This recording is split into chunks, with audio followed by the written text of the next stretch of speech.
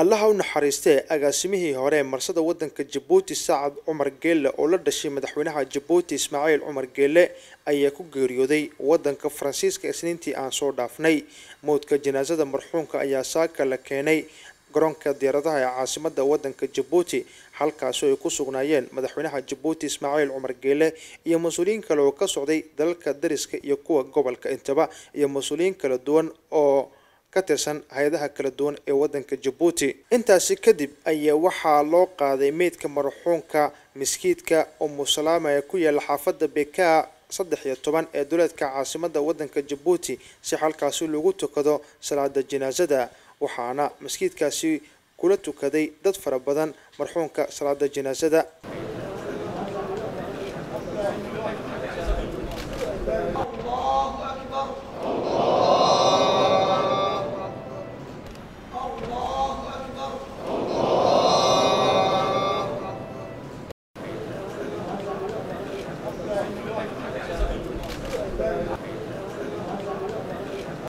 aaska marxuumka ayaa waxaa kasoo qayb galay mas-uuliyiin sarsare oo iskaga kala yimid dalalka dariska iyo kuwa saaxiibka la ah jabuuti mas-uuliyiintaasi ayaa waxaa ka mid ah wafdi ka socday wadanka etoobiya oo horkacayay wasiirka dhaqaalaha iyo maaliyadda wadankaasi etoobiya axmed shide iyo mas-uuliyiin kale oo ka socday dowlad deegaanka soomaalida wadanka etoobiya dhinaca dowladda soomaaliya waxaa ka socday ra'iisul wasaare ku-xigeenka soomaaliya mahdi maxamed guuleed iyo wafdi kale oo ka socday somalilan oo horkacayo madaxweynaha somalilan muuse biixi cabdi iyo xubno xukuumaddiisa ka tirsan. Markii salaada janaasada lagu tukaday masaajidka umusalaama ayaa waxaa meydka marxuumka loo qaaday xabaalaha beeka labiyo toban halkaas oo lagu aasay saaka. Aaska marxuumka ayaa waxaa ka soo qayb galay xubnaha xukuumadda wadanka jabuuti xildhibaano saraakiil isugu jiray rayid iyo military. Wasiirka dhaqaalaha iyo maaliyadda etoobiya axmed side oo warbaahinta la hadlay ayaa waxa uu tacsiiyey qoyskii iyo qaraabadii uu ka baxay marxuumku marka horeyse waxaan u tacsiyanayaa madaxweyne ismaaciil umar geelle iyo iyo reerkiisa iyo reerka marxuumka uu ka dhashay dhammaan iyo xaaskiisa iyo carruurtiisa o dhan dhammaan shacab weynaha jabuuti anigoo ka socda dowladda federaalka etoobiya waxaanu ku nimid wafti ballaaran oo ka kooban dowladda federaalka iyo dowlad degaaneedka soomaalida iyo odayaasha iyo ganacsada deegaanka soomaalida oo dhan. Run ahaantii marxuumku sacad cumar gelle wuxuu ahaa qof qaali ah taariikh badanna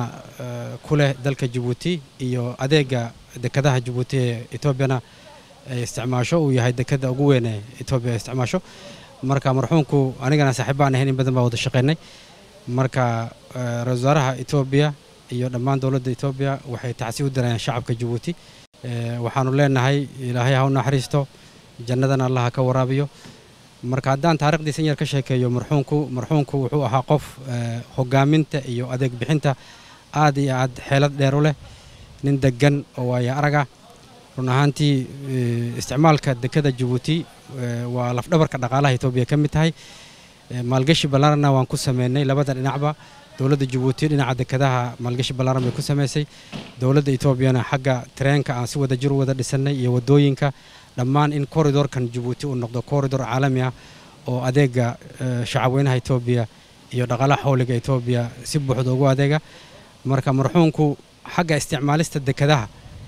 iyo in la fududeeyo adeeg bixinta dekadda qayb libaax leh mar walba ka qaadan jiray. Waxaa dhacda marmar in import fara badan etoobiya ee debadaha ka dalbato oo hal mar isku soo gaaraan dekadaha jabuuti muddo saddex bilood ama afar bilooda taasi culeys weyn bay ku keenaysaa adeega dekadaha marka xilliyadaasoo kale oo gurmad loo baahan yaho kale waa qof mar walba u gurmada etoobiya marka marxuumku saaxiibka shacabka etoobiya ahaa saaxiibka dowladda etoobiya ahaa xagga adeeg bixinta dekadahana saameyn weyn buu ku lahaa xagga in adeegu uu mar walba wanaagsanaado oo fiicnaado. Dhinaca somalilan wasiirka arrimaha dibadda somalilan yaasiin xaaji faratoon ayaa isaguna warbaahinta la hadlay waxaana uu tacsiiyey qoyskii marxuumka uu ka baxay. Bismillaahi raxmaan raxiim waxaanu halka kan ku nimi wafdi ballaadhan oo ka yimi hargeysa somalilan oo hogaaminayo madaxweynaha jamhuuriyadda somalilan muuse cabdi. Waxaanu isugu jiray madaxweynaha iyo wafdi dowladdiisa ka kooban oo wasiiro iyo madax kaleba ku jirto. Oo ay isla mar ahaantaa ku jiraan maxay to madax dhaqameed ay ku jiraan ganacsato dhammaan acyaantii reer somalilan waxaannu halkan u nimi maanta waxay booqasho kooban oo aannu ku nimi si aannu ugu tacsiyadayno madaxweyne ismaaciil cumar geelle iyo qoyskiisa iyo reer jabuutiba dhammaan shacabka reer jabuuti annagoo uga tacsiyadaynayna geeridii naxdinta lahayd ee ku timi sacad cumar geelle.